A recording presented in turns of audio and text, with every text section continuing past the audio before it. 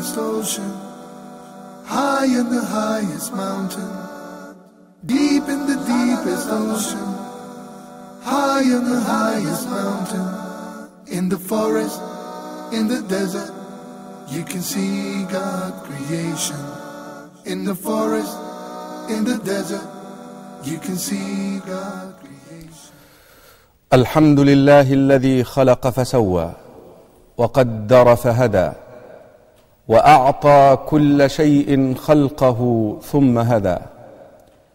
الحمد لله الذي أضحك وأبكى وأمات وأحيا وأغنى وأقنى.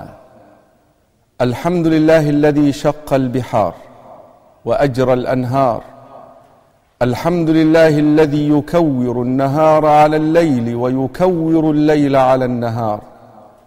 الحمد لله الذي انقذ من جهاله وهدى من ضلاله وانار القلوب والابصار واحيا الضمائر والافكار All praise belong to Allah subhanahu wa ta'ala, the glorified and exalted, the one who created everything and made it perfect. All praise belong to Allah subhanahu wa ta'ala, the glorified and exalted, the one who determined a measure for everything and guided it. All praise belongs to Allah subhanahu wa ta'ala, the glorified and exalted, the one who makes whom He wills laugh and makes whom He wills weep and cry the one who proportionate wealth made some of us rich and wealthy for a wisdom, for a test, and made some of us poor and needy, again for a wisdom and as a test. All praise belongs to Allah subhanahu wa ta'ala, the glorified and exalted, the one who causes death and the one who gives life, the one who split the sea, the one who made the rivers run and flow, the one who makes the night fold over the day and makes the day fold over the night, the one who saved us from ignorance, the one who guided us from misguidance, the one who enlightened our chests and our hearts, and the one who revived our thoughts and our consciousness. Some one like Allah subhanahu wa ta'ala, a God like this, that is what I meant. The only one who deserves to be worshipped and obeyed.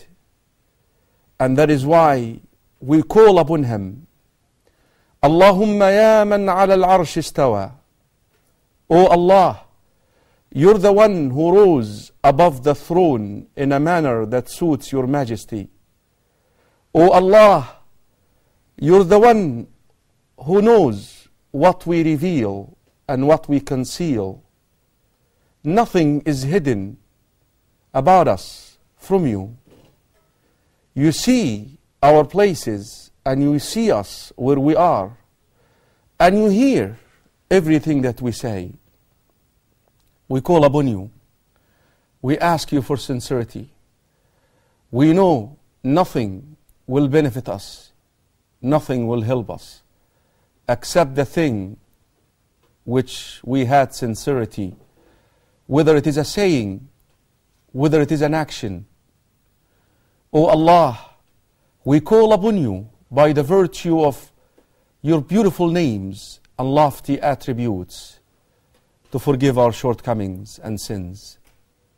اللهم صل على محمد وعلى آل محمد كما صليت على إبراهيم وعلى آل إبراهيم إنك حميد مجيد اللهم بارك على محمد وعلى آل محمد كما باركت على إبراهيم وعلى آل إبراهيم إنك حميد مجيد Dear brothers and sisters in Islam, dear viewers, I'm your host, Karim Abu Zaid. This is episode number three from the series Aqidah Matters.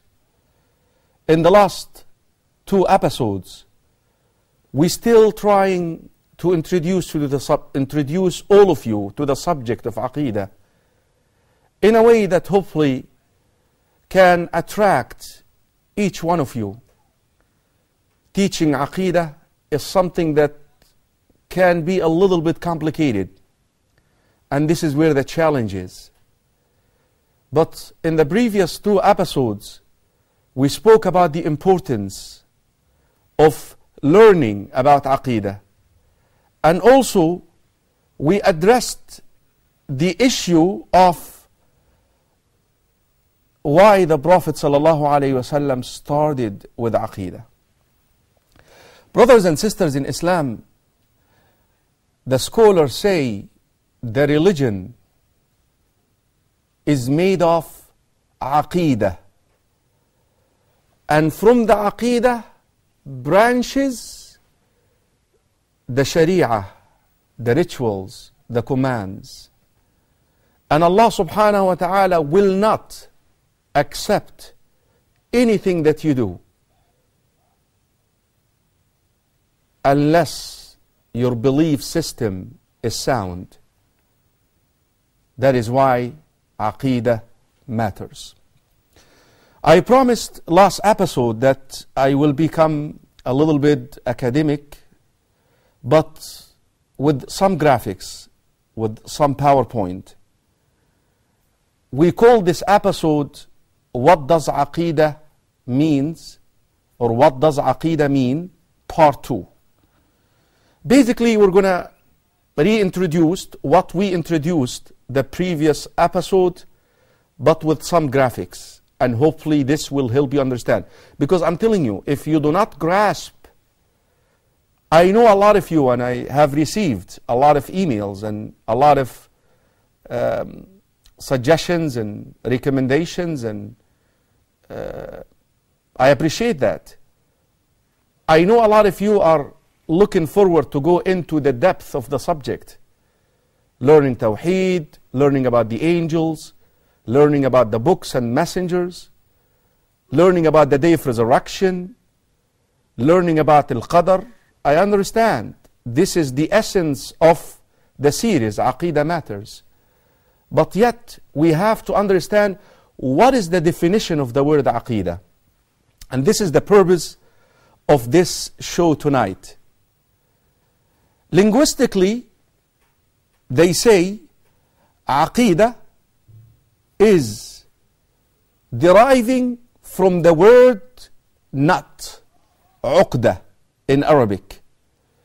When you tie a rope and pull it, you normally create a nut. This nut is called in Arabic uqda. In Arabic is called uqda. So this is where the word aqidah derives from which means the following that which is done is called aqidah, that which is settled is called aqidah, that which is firmly fixed is called aqidah. Something that you do not even question. I tell you there is a punishment in the grave, done deal, it's done. I tell you there is a blessing in the grave, done deal, done. I tell you that, listen, you're going to be resurrected after you, uh, you, you uh, buried. Done deal. I tell you in the day of resurrection, you're going to see Allah, if Allah wills. Done deal. You're going to talk to Allah. Done deal. I tell you that there is Jannah. Done deal. There is hell. Done deal. You don't question it. That is what Aqidah. So anything that you do not question is called Aqidah. So this is the linguistic definition of the word. Now the scholars, they normally come up also with something called the technical definition of Aqidah. What do we mean by the technical definition of Aqidah? Let's look at the uh, uh, graphic here.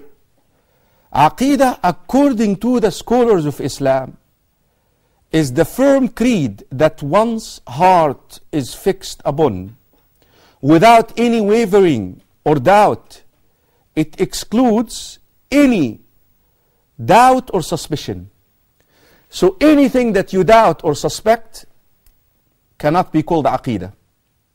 Aqidah refers to those matters which are believed in with certainty and conviction in one's heart and soul. They are not tainted with any doubt or uncertainty. Now there are three key words in that definition. Pay attention to this. The first word is matters. The second word is cert certainty, meaning yaqeen. The third word means uh, uh, is conviction or commitment. Pay attention to this because the rest of what we will learn is about these three words. What do we mean by matters? What do we mean by certainty? What do we mean by conviction? Let's go over the first one matters. The three key words. Let's go over them. Matters of faith are six articles of faith. The six articles of faith. The six pillars of Iman. You believe Allah exists. You believe He is the creator, the sustainer, the provider. You believe that He has the most beautiful names and the most lofty attributes. And as a result of this, you, you convict yourself to, you adhere or you submit to Him. So, the six articles of faith, the first of them is the belief in Allah. You also believe that Allah has angels. And with the angels come the jinn. And we're going to talk about that. I know you're looking forward to this. Books. The angels brought down books. Delivered it to the messengers, and Allah commanded them, the messengers, to convey it to the people. And one of the core of the messages is the day of resurrection. That's why it's number five, the hereafter how it will happen and what will happen and all of this. And the fact that Allah did everything for a wisdom. That's why the qadr. The qadr is a testimony for Allah's wisdom. For the wisdom of Allah subhanahu wa ta'ala. And I'm telling you, one of the most beautiful things that can boost your faith, when you look at something and you see the wisdom of Allah in it. That is why Al-Qadr, the destiny was placed the last thing. Because everything was ordained. All of this was ordained. So, the first word is explained, the six articles of faith. And this is the subject of our series. Now let's go over the second word, certainty. The Arabic word for certainty is yaqeen.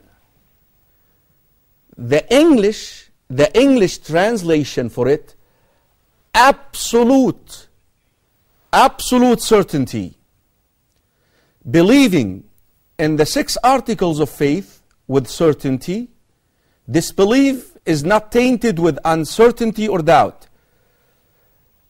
Certainty level of knowing something with absolute certainty without any doubt. I think I'm repeating the same exact words just to make sure that you understand what is the meaning of the word certainty because it's a condition of La ilaha illallah. A condition of La ilaha illallah. The second condition. The first condition is knowledge, which must lead to certainty. And Allah subhanahu wa ta'ala mentioned that condition in the verse in Surah Al-Hujurat. أعوذ بالله من الشيطان الرجيم إنما المؤمنون الذين آمنوا بالله ورسوله ثم لم يرتابوا ثم لم يرتابوا وجاهدوا باموالهم وانفسهم في سبيل الله اولئك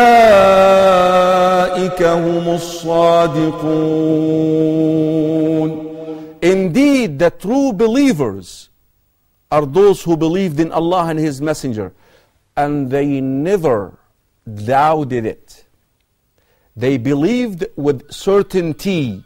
And as a result of this, they committed themselves, their lives, to the cause of Allah subhanahu wa ta'ala, to the deen of Allah.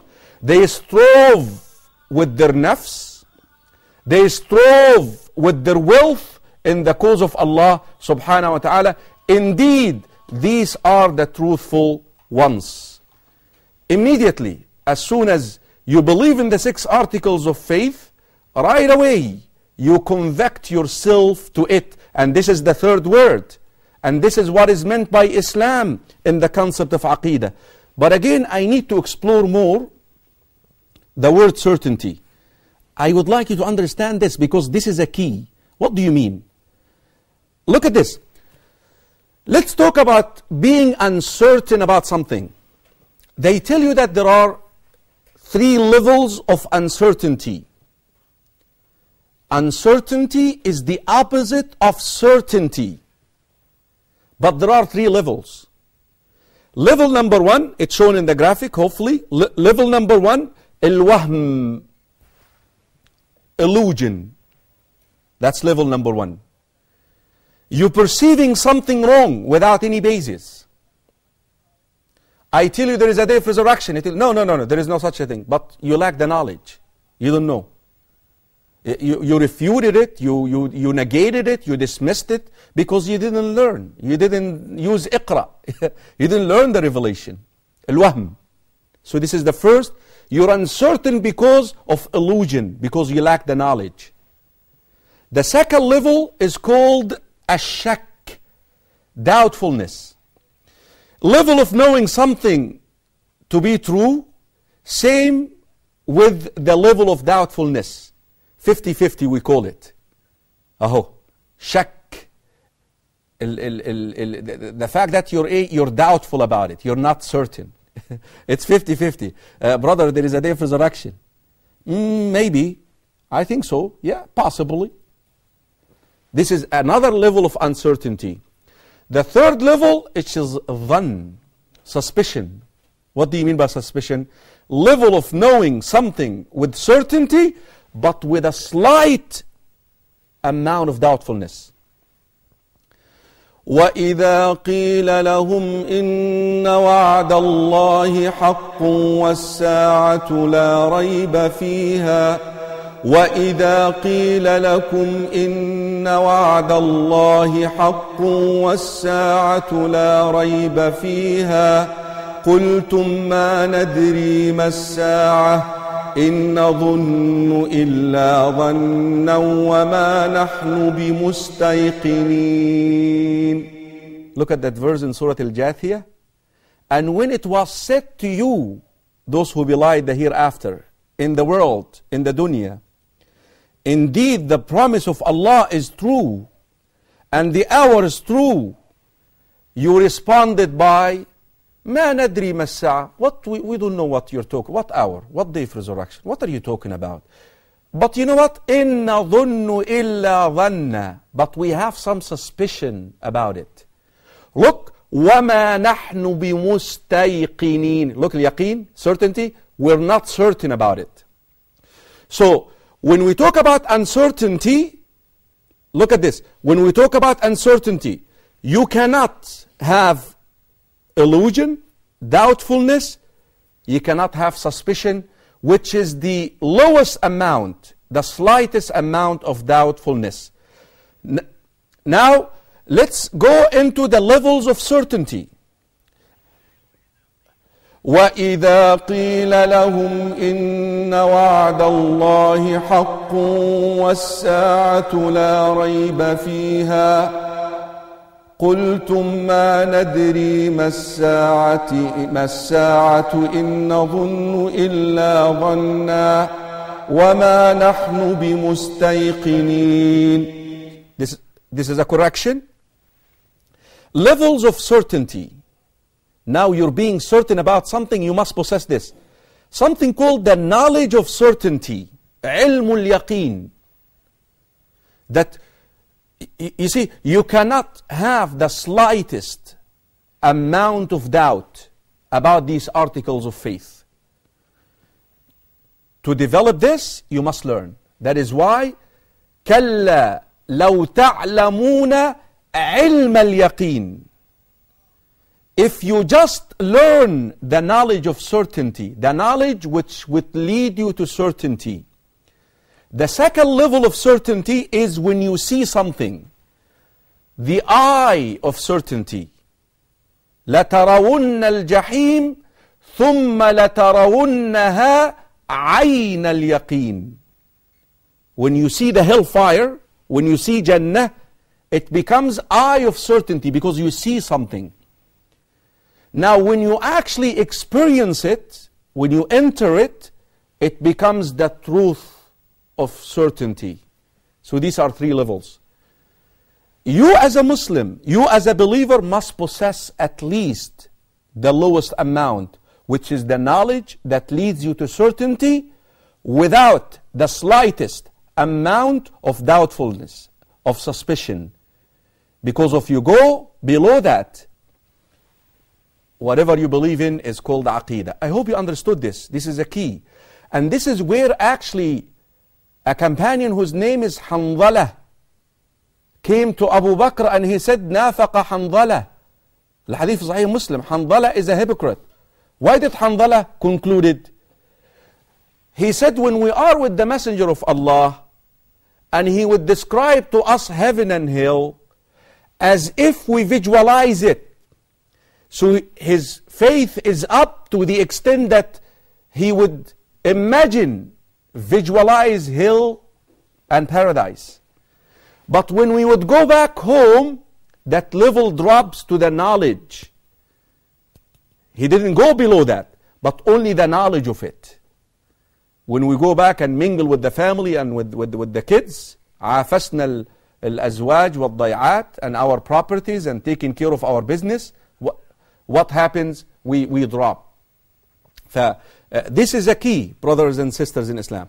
When they went to the Prophet ﷺ, him and Abu Bakr as-Siddiq, what did the Prophet ﷺ said to them? Listen, if you stay the way that I stay, you will go up to the third level, which is what? Angels will shake your hands in bed and in the, in the walkways. Uh, important. So, you must have certainty where there is no slight amount of uh, doubtfulness in it. Uh, the third word is conviction, which means Islam. That you commit yourself to what you believe in. You believing in the six articles of faith. Listen, you believing in the six articles of faith without, with certainty, without the commitment, without the conviction, you're lacking. And that is where Islam, that you must fulfill the commands of Allah subhanahu wa ta'ala. Whenever you're commanded to do something, you say سمعنا وأطعنا. Dear viewers, brothers and sisters in Islam, I hope you understood this.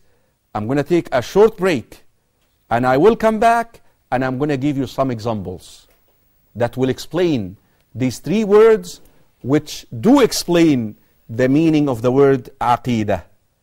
I love you all for the sake of Allah. Don't go away. I'll be waiting for you. Assalamu alaikum wa rahmatullahi wa barakatuh. In the forest, in the desert, you can see God creation.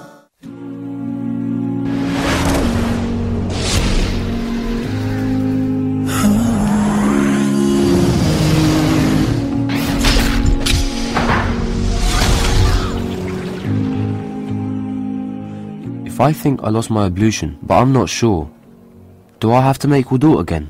Is it allowed for Muslims to visit the graveyard, or is that shirk? Am I allowed to say Jummah Mubarak to someone? Can I get to know a sister before marriage? I have so many questions, and I feel that I've just reached a dead end.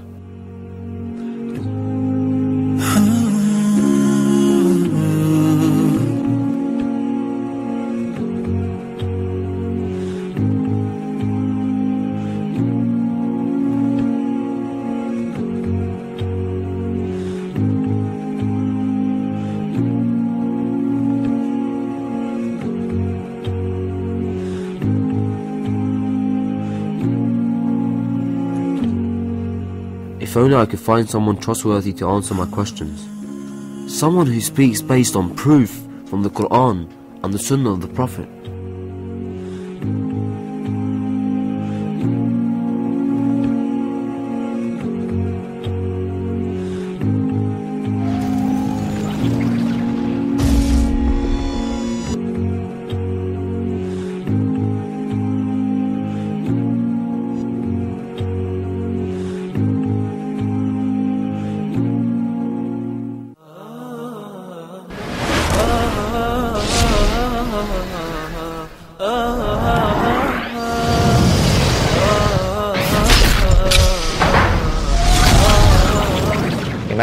That the Anbiya, they were the ones that were the most beloved to Allah subhanahu wa ta'ala and they had the hardest times. He assumed that he had some kind of superiority and he was a better, more chosen, you know, a select, better person because he had this wealth.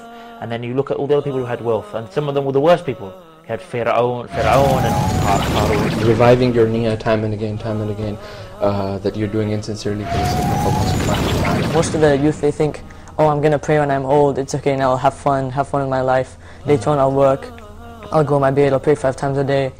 And all these things, they think that that- that's later on in their life, and they don't know when, when, when they will die. Amira, who's your role model Khadija radiallahu anha. and why?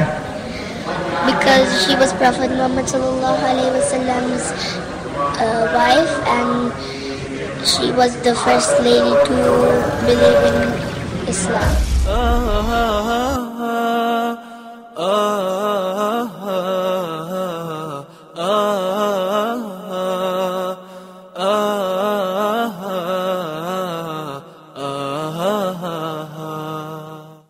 the forest, in the desert, you can see God creation. Assalamu alaikum wa rahmatullahi wa barakatuh. Brothers and sisters in Islam, dear viewers, I hope you're not bored. I hope you're enjoying this. I really want to explain this a different way, quickly. And I promise you will get it this time.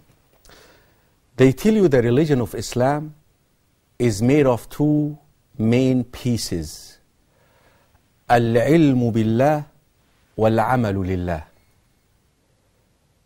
the first piece is the knowledge of Allah subhanahu wa ta'ala and consequently comes n- uh, angels, books, messengers, the six articles of faith. But that knowledge must lead to certainty. Now that's where conviction comes, which is in the second piece, وَالْعَمَلُ لِلَّهِ That you submit, adhere. You say the following, قل إن صلاتي ونسكي ومحياي ومماتي لله لله رب العالمين everything that I do, my rituals, my sacrifice, my life and death are for Allah. So they tell you the knowledge, the, the, the- religion is made of, the affairs of the religion is made of information about Allah subhanahu wa ta'ala, about the messengers, about the books, about the day of resurrection, about the qadr, information and commands, religious rulings, things that you're supposed to implement and do and adhere to. Now, if you want to know whether you possess the right belief system or not, the right aqidah or not, once it comes to the once it comes to the information that you're told about the six articles of faith, you must make tasdeeq with certainty You must believe in them. And once it comes to the commands of Allah, the religious rulings which require outward action, application, you must say سمعنا وأطعنا. I will give you two examples quickly because I would like to take your calls. Abu Bakr as-Siddiq radiallahu anh, when he was told by the polytheists, by the disbelievers in Mecca, Assalamu, I guess we have a, a, phone call. So- Sister Amina from Canada. Assalamu alaikum wa Sister Amina from Canada. Assalamu alaikum wa rahmatullahi wa barakatuh. Uh, my name is Amna. I just have uh, one question to ask. Uh, is it permissible to face our legs to Qibla when you're sleeping? Uh, speak up a little bit, Sister Amina, please. I, I'm having a hard time hearing you. Can you speak up a little bit?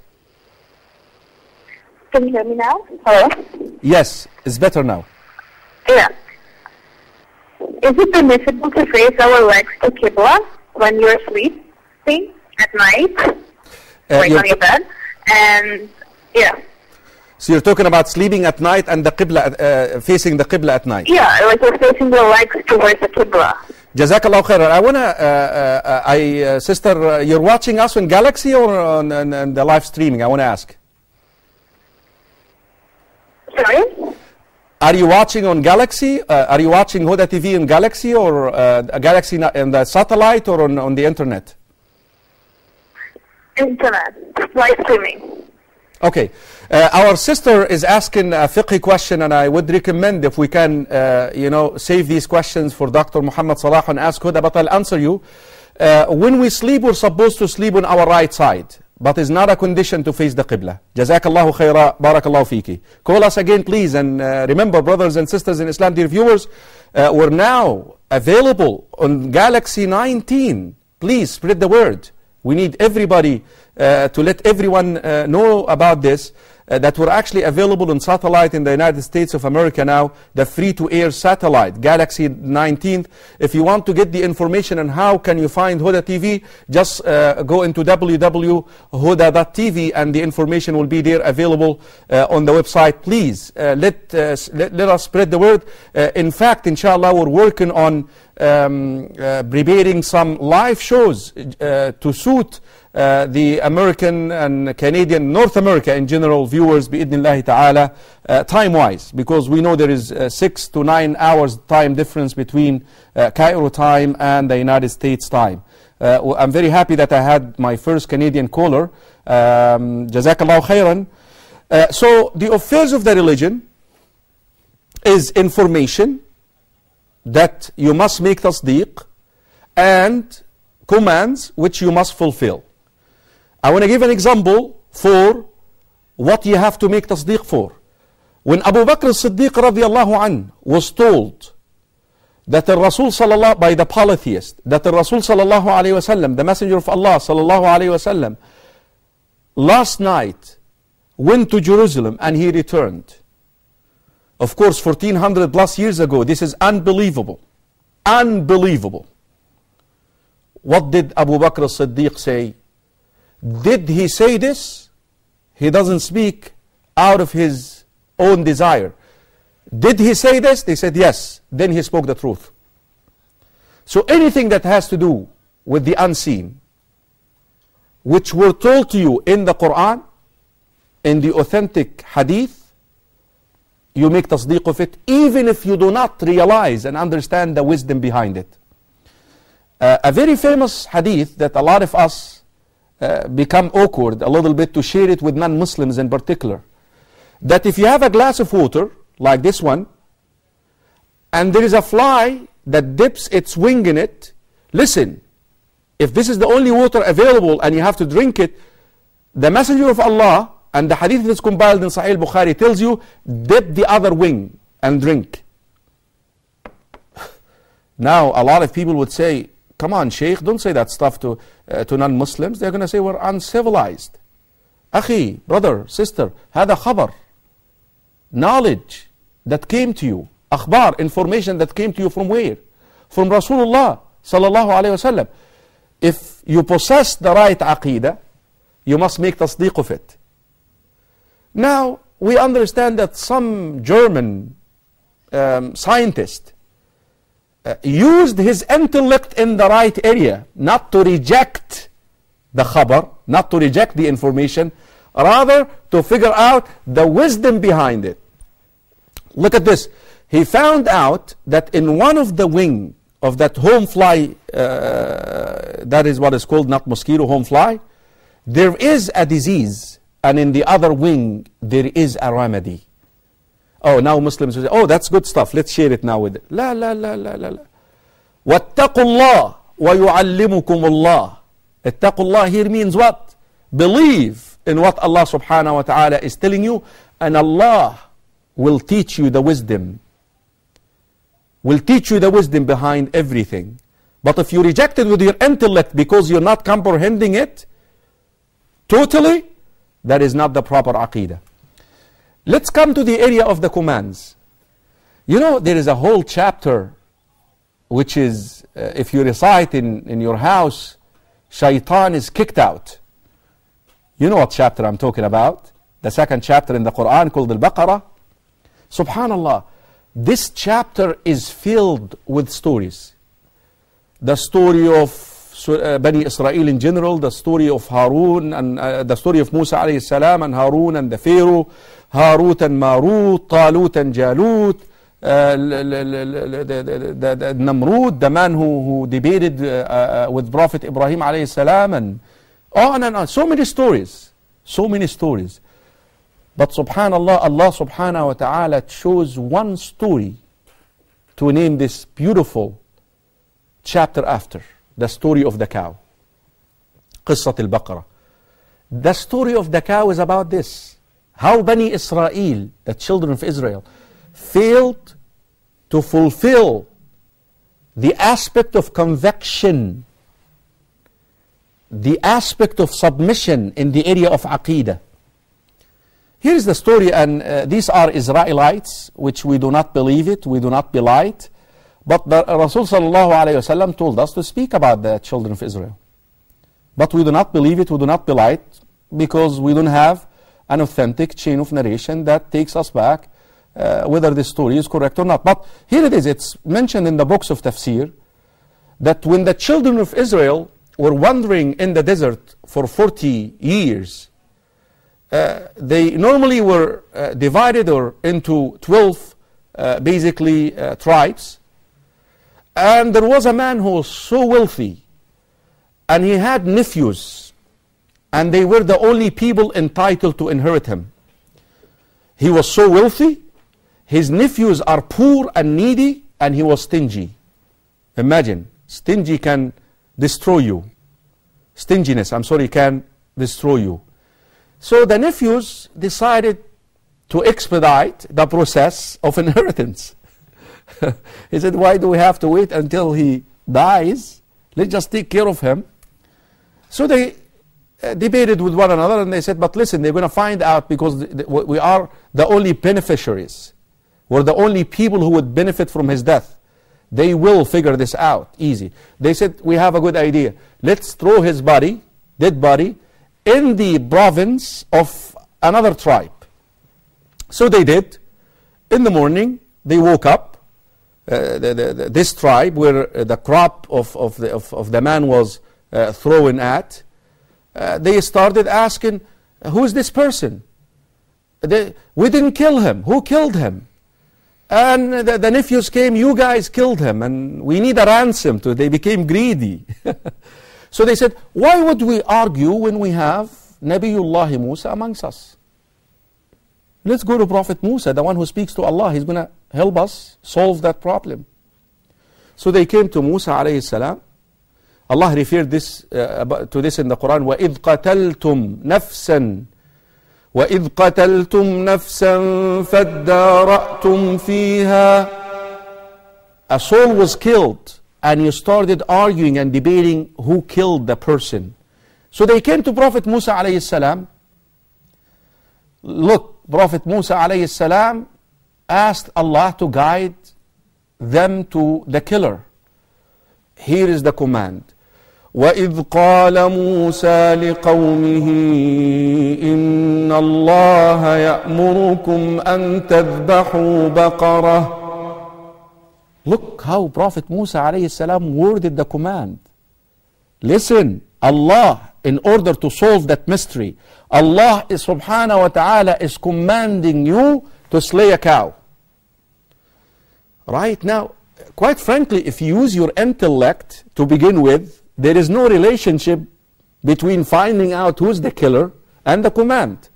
But with the commands of Allah, you do not use your int- intellect. You do not use your societal norms. You do not use what is um, tasty and what is not tasty. إنما كان قول المؤمنين إذا دعوا إلى الله ورسوله ليحكم بينهم أن يقولوا سمعنا وأطعنا The attitude of the believers when they are commanded by Allah and His Messenger to do something is to say we hear and we obey. The children of Israel kept arguing what cow, which color, we don't know, there are too many cows.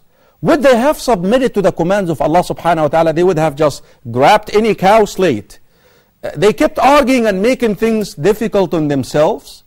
At the end of the day, they tell you, the books of tafsir, that they ended up buying a cow with its weight, gold and silver.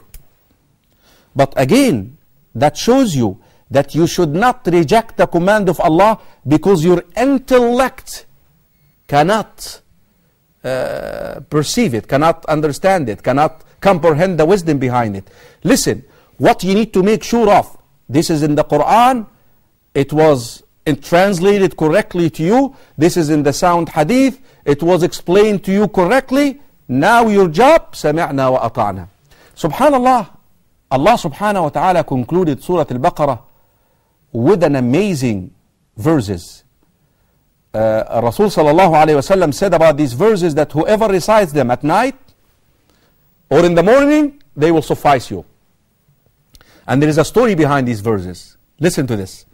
When Allah subhanahu wa ta'ala revealed this verse, لله ما في السماوات وما في الأرض وإن تبدوا ما في أنفسكم أو تخفوه يحاسبكم به الله الآية To Allah belongs what's in the heavens and what's in the earth. And whether you reveal or conceal your intentions, what you want to do, you're held accountable. Ya Allah. Imagine if I'm sitting like this and thinking about stealing, done, written. Thinking about adult, a'udhu billah, done. Look at the reaction of the companions of the Prophet wasallam, and I'm telling you, the reaction was not because they want to reject the command here, but they feel this is impossible. This is something that we cannot do. في صحيح الإمام مسلم حديث أبي هريرة رضي الله عنه they came to the messenger of Allah صلى الله عليه وسلم kneeling جثوا على الركب they said يا رسول الله O messenger of Allah we were commanded to pray we said سمعنا وأطعنا we were commanded to fast we said سمعنا وأطعنا we were commanded to pay zakah سمعنا وأطعنا we were commanded to do jihad سمعنا وأطعنا this one O messenger of Allah we can't and we don't want to fall short, O Messenger of Allah. We want to obey Allah. We love Allah. We want to obey Him. Look what the Messenger of Allah said to them. أتريدون Do you want to say like the people of the two books before you said? The followers of the Torah and the followers of the Gospel? What did they say? سمعنا وعصينا We hear and we disobey. I want you to say بل قولوا سمعنا وأطعنا سبحان الله يا إخوة سبحان الله Abu Huraira the narrator of the hadith says فزلت بها ألسنتهم Ya Allah, because they were truthful. They were, you know, they, they did not really object or reject the command uh, b- because of of of uh, uh, of uh, of something. No, they are not saying سمعنا وعصينا like the followers of the two books. No, they were just concerned that they will not be able to fulfill this. Now Rasul sallallahu alayhi wasallam said to them, "Say we hear and we obey." They said it. The next verse. آمن الرسول بما أنزل إليه من ربه والمؤمنون كل آمن بالله So this is the faith, the matters of faith here. Imagine this. This verse, by the way, contain both the six articles and believing in them with certainty, and also سمعنا وأطعنا is there. Here it is. كل آمن بالله وملائكته وكتبه ورسله لا نفرق بين أحد من رسله So they all believed in the six articles of faith, the messenger of Allah and the believers. So this is what? Matters of faith, the six articles of faith. They believed in it with certainty. with certainty. And that is why they said what? وَقَالُوا سَمِعْنَا وَأَطَعْنَا And they said we hear and we obey to the other segment of Aqidah, which is what? The commands, the religious rulings which require action. Man, if you get this piece, I'm telling you, you got a good start to understand the deen. Wallahi, if you, if you grasp the meaning here. Aqidah, Iman, Islam. You see, Iman, sets of unseen that you believe in with certainty, but that belief must be translated and interpreted into what? سَمِعْنَا وَأَطَعْنَا And that is why the verse. Let me recite the verse to you again, again and you all know it. آمن الرسول بما أنزل إليه من ربه والمؤمنون كل آمن بالله كل آمن بالله وملائكته وكتبه ورسله لا نفرق بين أحد من رسله لا نفرق بين أحد من رسله وقالوا سمعنا وأطعنا. وقالوا سمعنا وأطعنا غفرانك ربنا وإليك المصير So they ended up with both. They believed, they made tasdeeq to the akhbar, to the information, and they said we hear and we obey to the commands. And this is why Allah subhanahu wa ta'ala revealed, revealed the relief. Immediately Allah subhanahu wa ta'ala revealed the relief to them. لا, look at the final verse now. لا يكلف الله نفسا إلا وسعها Now you're relieved from this. Allah will not hold you accountable except for that which you actually do. لها ما كسبت وعليها ما اكتسبت Add to this, if you do something and you make dua that Allah subhanahu wa ta'ala forgive you, He will forgive you. Ya Allah. Now why? Because they possessed the proper, correct belief system, aqidah. That is why they were entitled to this. That Allah subhanahu wa ta'ala given them the relief, beside that Allah subhanahu wa ta'ala would forgive their shortcomings. Brothers and sisters in Islam, this is what aqidah is all about. That when you're told of something that is unseen regarding Allah, angels, jinn, books, messengers, day of resurrection, qadr, you believe it with certainty. And when you're commanded to do something, you say, we hear and we obey. Brothers and sisters in Islam, I love you all for the sake of Allah. I hope I was able today to present the definition, the meaning of the word aqidah. Inshallah, next episode, we will carry on and we're going to talk about the characteristics and the importance of the Islamic belief system. It's the only belief system in the face of this earth that is sound. You know why? Because Allah has preserved it. And this is one of the first characteristics. I'm creating some suspense here, so I would see you the next episode, inshallah. I love you all for the sake of Allah. I have to sign off till the next episode of Aqidah Matters. I, I leave you in the care of Allah, and I will see you, inshallah. Assalamu alaikum wa rahmatullahi wa barakatuh. deepest ocean, high in the highest mountain, deep in the deepest ocean, high in the highest mountain, in the forest, in the desert, you can see God creation. In the forest, in the desert, you can see God creation. He made us different nation, and there's no differentiation. He made us different nation, and there's no differentiation. If you're black, if you're white, we are all God creation. If you're black, if you're white, we are all God creation. Deep in the deepest ocean, high.